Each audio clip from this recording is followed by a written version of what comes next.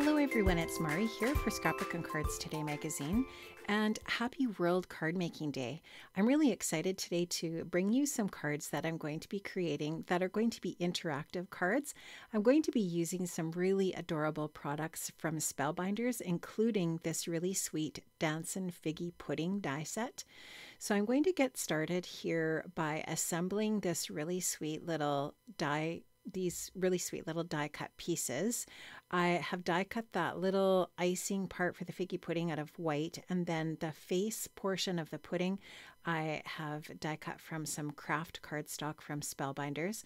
I'm using some Spectrum Noir Harmony water reactive ink in Seal Brown to do a little bit of ink blending onto this craft cardstock. And all that's going to really achieve is to add just that little bit of extra color, adding some dimension onto this cardstock piece. So I've just taken my tool here for ink blending. This is just a, a dome foam blending tool from scrapbook.com.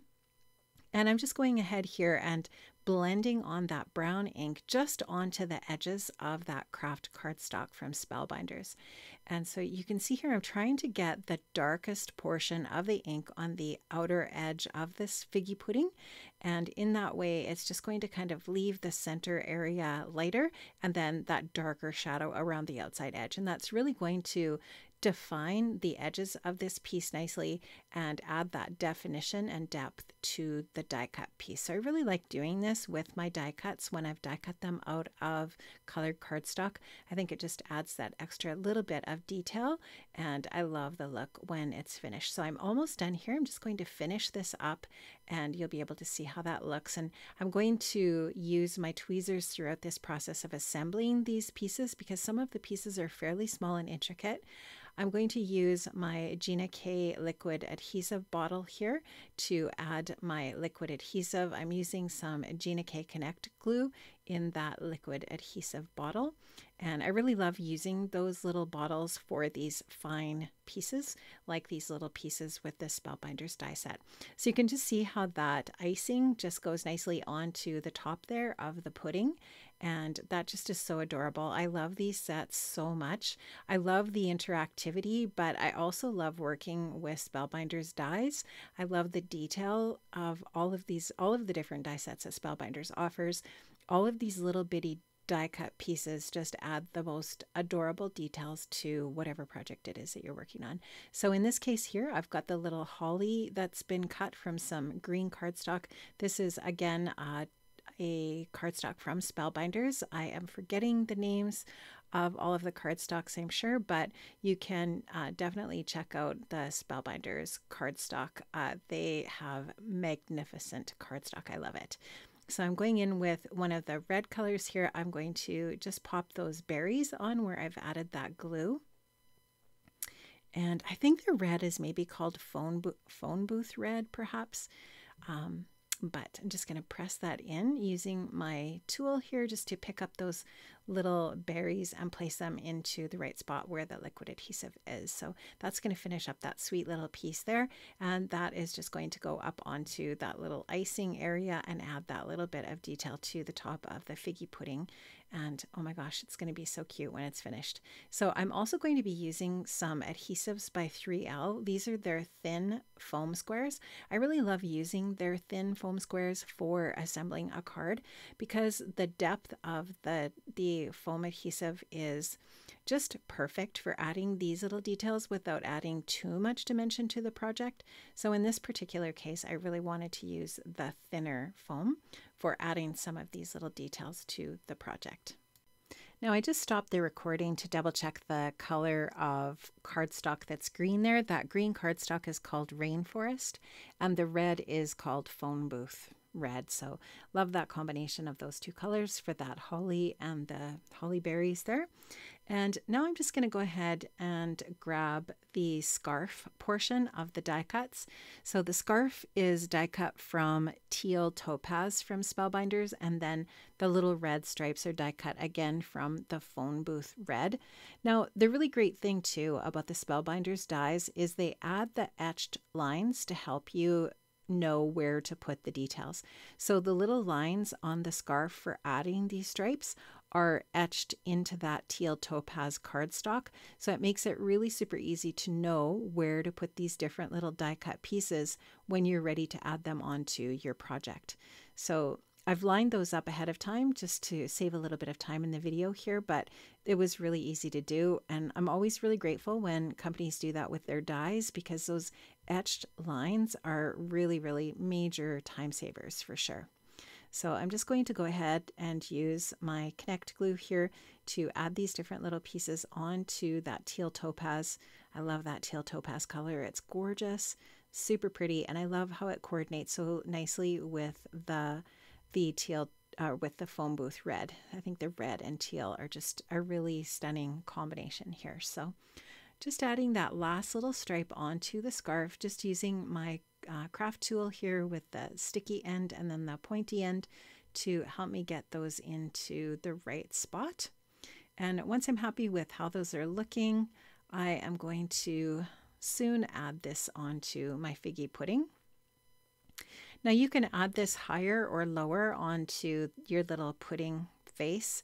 Um, I wanted to make sure that the edges of the scarf were lined up quite nicely with the pudding. So I put it fairly low on the face. And so you'll just see me here placing that down, giving that a good press to make sure that it is, it is adhered to that craft cardstock base.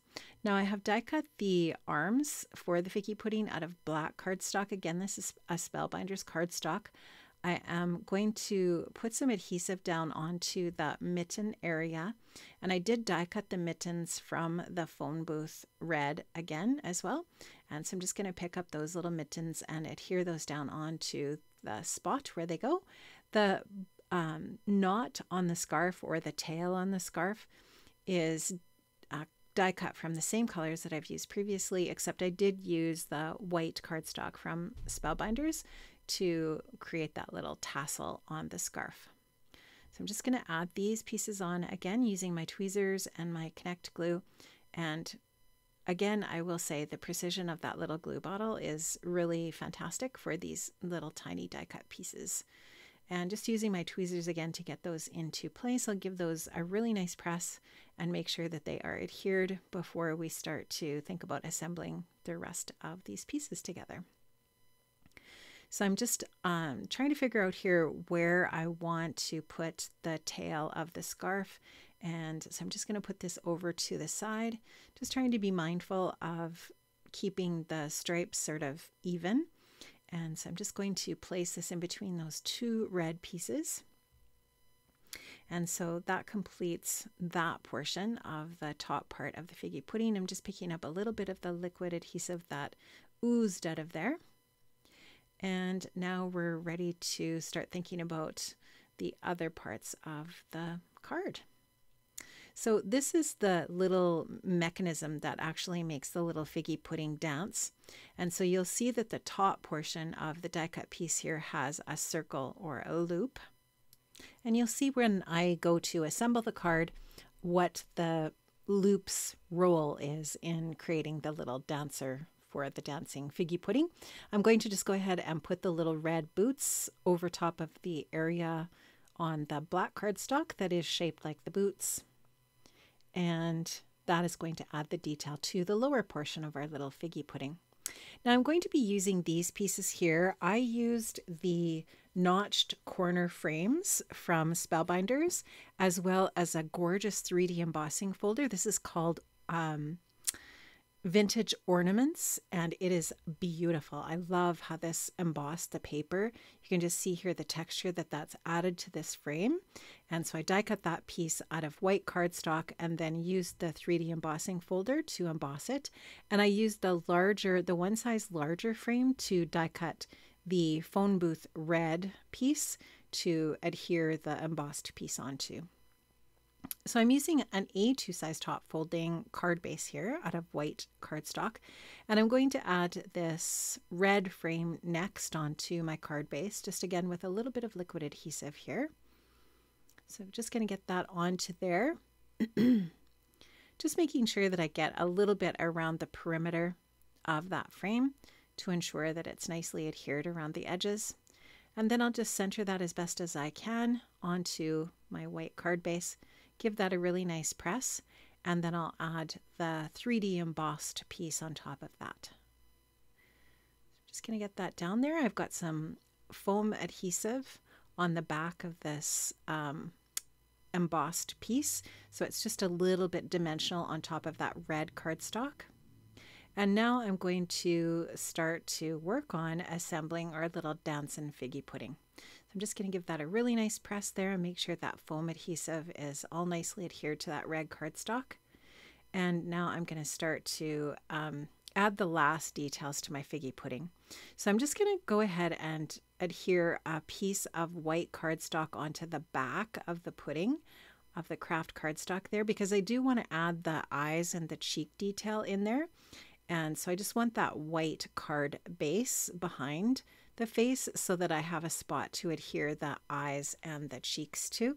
So I'm going to add the little eyes in black. I've die cut them from black cardstock and the little cheeks I've die cut from pink. So I'm going to add a small amount of liquid adhesive into those areas where the details are going to be placed. And again, I'll just use that sticky end of my tool here to grab those little die cut pieces. And then I'll use the pokey end of the tool to just move those, wiggle those into place. Super, super cute. You could even take your white gel pen if you wanted and add a little dot of white to these eyes. I did not do that, but that is something that you could do if you wanted to just give the eyes a little more detail, just give them a little bit of a glisten. And then there's that last little cheek piece to complete that face. So now the face is completed. You can see that the die um, die cuts in and embosses into the paper the mouth and the eyebrows and some little dots, which are super, super cute detail on this little figgy pudding.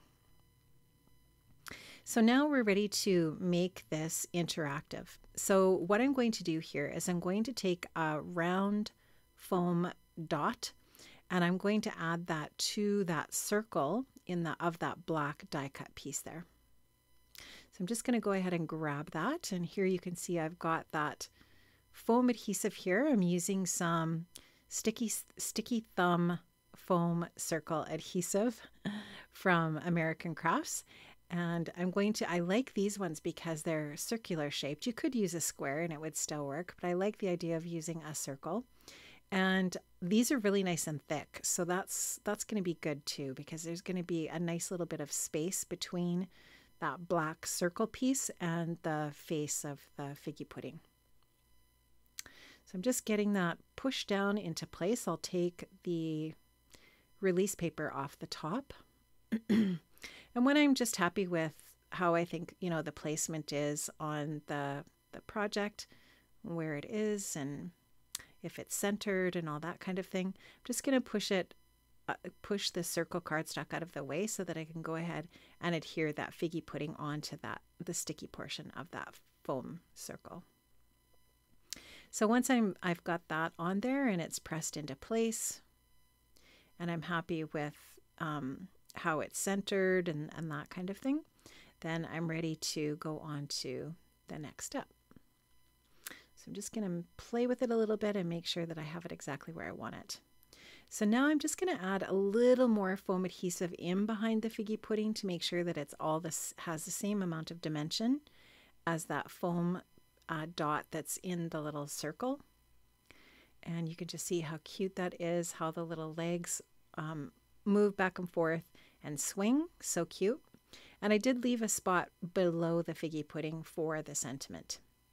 So now I'm just going to go ahead and add the arms onto the figgy pudding just by adding some liquid adhesive to those and get those glued in as well. And you can have these in whatever motion you want. I just thought it would be cute to have them kind of up in the air like this.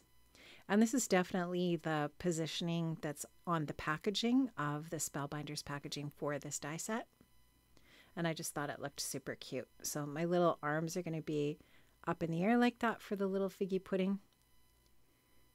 And he's, or she, it, the figgy pudding is just loving its life. Super cute. Love it. So I'm just going to go ahead and glue this last arm in here and get that placed down.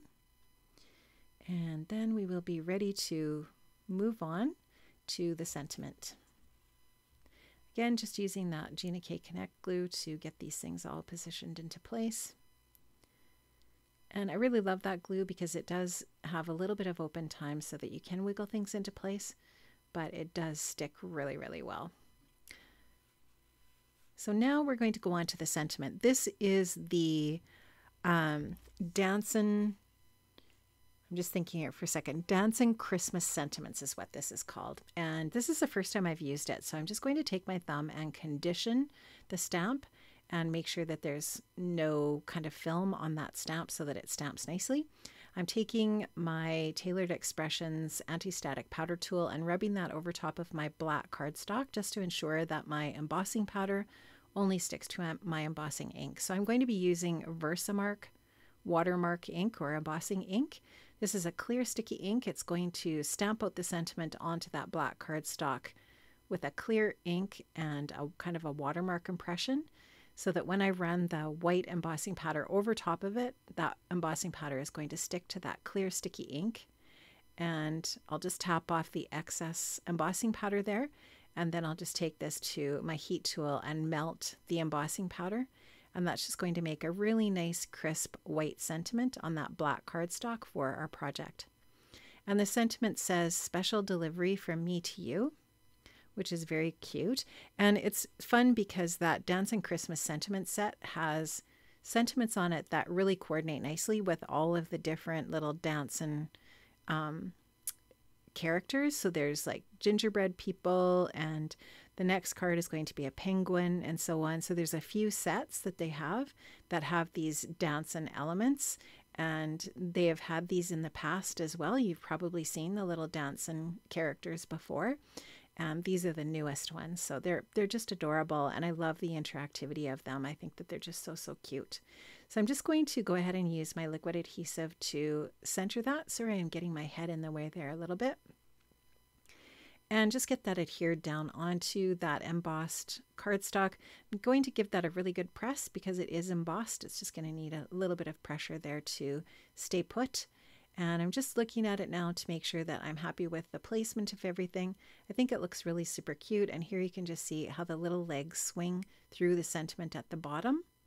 It's adorable. I love it. So that Dancin' Figgy Pudding is just so so cute. I think the face on this die cut or this die is just absolutely adorable. So really love that. And so that card is all finished and we're ready to start the next card. And the next card is going to be using the Dancin' Penguin Penguin set. So this is another die set that does have those interactive that interactive element to it where the little feet move. So I'm using again some black cardstock from Spellbinders. I'm using the phone booth red as as well for this little penguin.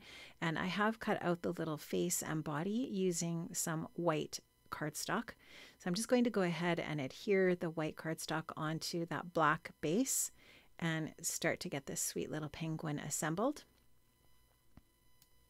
So once I've got the adhesive on the back of this white cardstock piece, I can just go ahead and place this onto that black base and get that just in the right spot to line up all the other areas of the penguin. So just giving that a good press to make sure that that's adhered down. And next we're going to go ahead and add the little beak on the penguin and the sweater.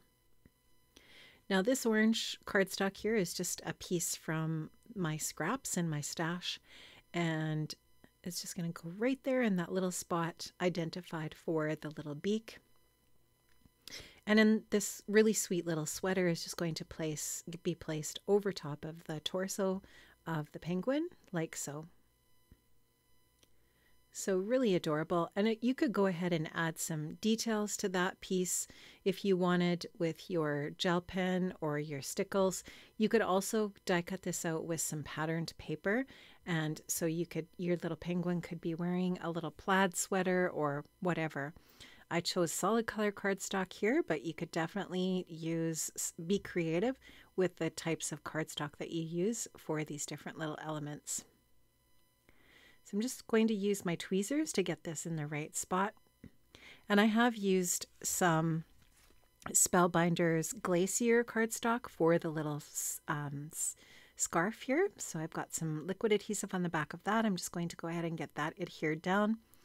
The sweet little hat for our little penguin again is cut from the phone booth red. And there's just going to be a little bit of white fur on that as well. And that will be indicated with a little strip of white cardstock that was die cut from white.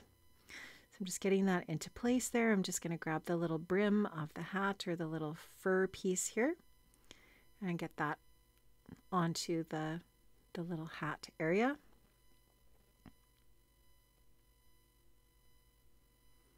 And then there's a little die cut piece of white from the white cardstock again for the little pom-pom on the hat.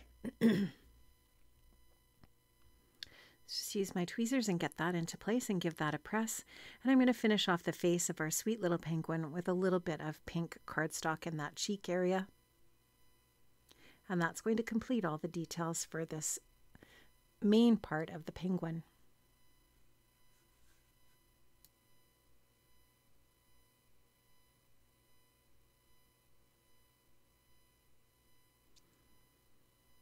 Now, once I've got that placed in the right spot, we're ready to move on to some more of the details and we're going to add the little skates onto the black base for those skates.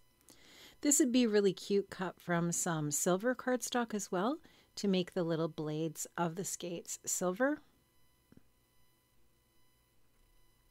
Just adding a little bit of liquid adhesive on there to add the little red boots for the skates.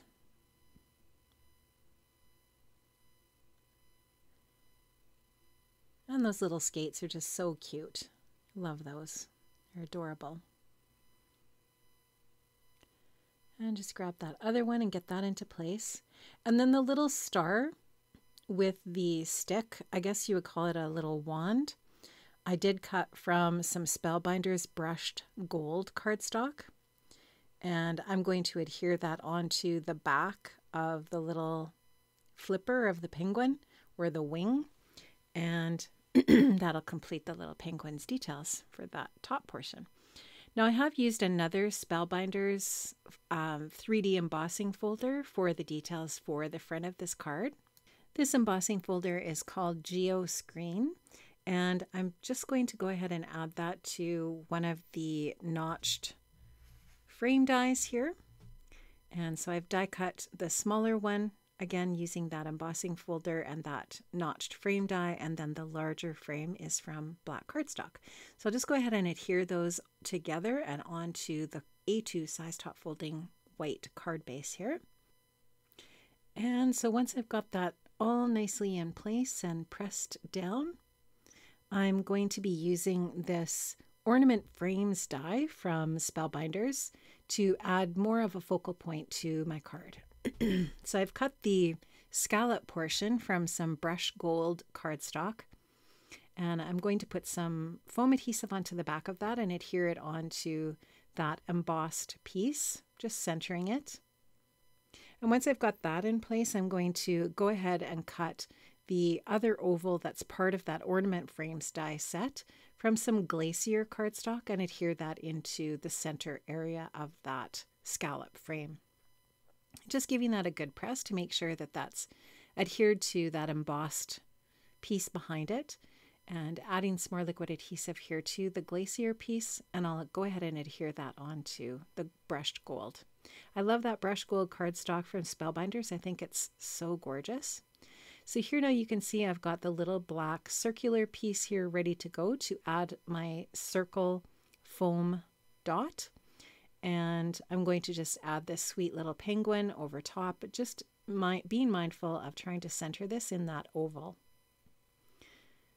Once I've got that into place, I'm going to add a little more foam adhesive in behind the penguin just to make sure that it's all adhered at the same level of dimension. And that's going to finish the front of the card. Now you can just see how sweet those little skates are and how nicely they move. The interactivity is absolutely adorable. I did go ahead and put a coordinating sentiment in the inside of the card, and that's going to finish off my projects today. Happy World Card Making Day, friends. I know that there's a ton of inspiration on the Scrapbook and Cards Today YouTube channel today. Make sure you check the description box below for all of the details. Have an awesome day, and I'll see you again soon. Take care. Bye bye, friends.